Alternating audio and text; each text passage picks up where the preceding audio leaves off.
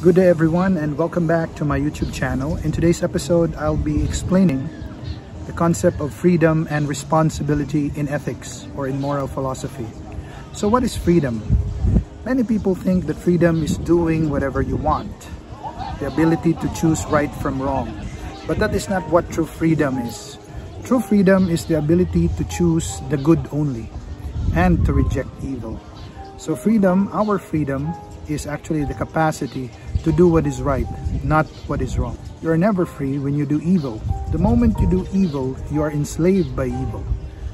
And you cannot escape the accountability or the culpability of your action, the punishment and the consequences of the evil deeds. That is why doing evil will never be free.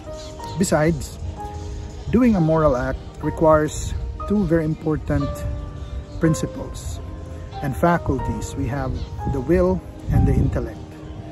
The will and the intellect are spiritual faculties of a rational being, the rational animal man or the human being. The objective of the will, the goal of the will, is to choose or possess the good. And the will cannot possess or choose the good if the intellect does not know the good. The intellect, the goal and the object of the intellect is to know the good as truth. So it is the intellect that tells the will that is that this is the good thing or the good entity to be chosen. So without the intellect, the will is blind. So the intellect has to inform the will for the will to choose the good. Without the intellect telling the will that this is the good, the intellect or rather the will will not be able to choose the real good. It will be misled and will choose the apparent good or the lesser good not the good in itself or the higher goods. So we choose good because it's the right thing. And evil has to be rejected because by itself, evil cannot be the object of the intellect and the will. So the question is, why do we commit evil? It's because of our human nature. We have an imperfect human nature, we have a broken human nature, a frail human nature, because of the sin of our first parents.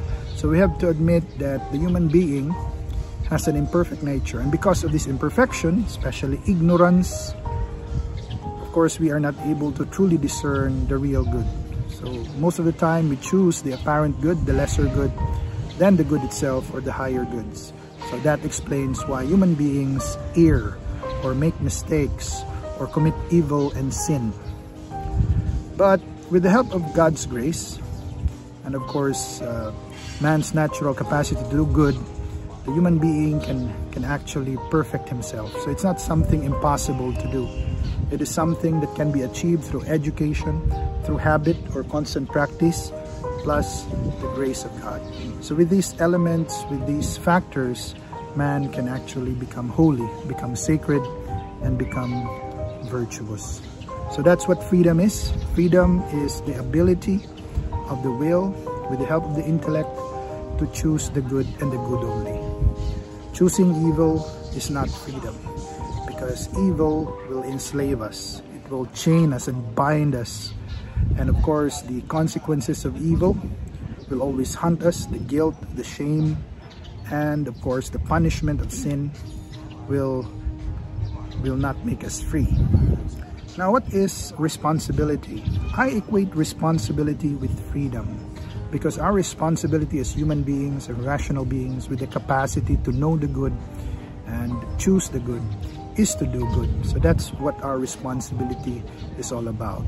Doing evil is a failure of responsibility. It's a failure of the will and reason to choose what is right, what is supposed to be chosen.